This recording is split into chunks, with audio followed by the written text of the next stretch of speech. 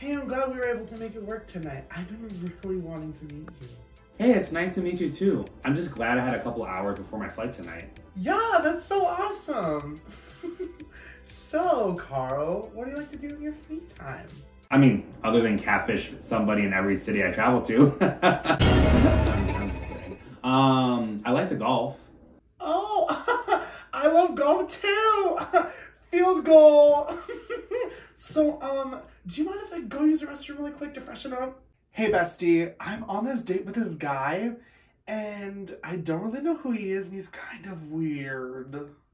Well, have you looked him up on spyfly.com? What's spyfly.com? It's a website where you can look people up. You can look them up by their phone number, their name, their state. It'll show you financial reports, criminal records, where they live.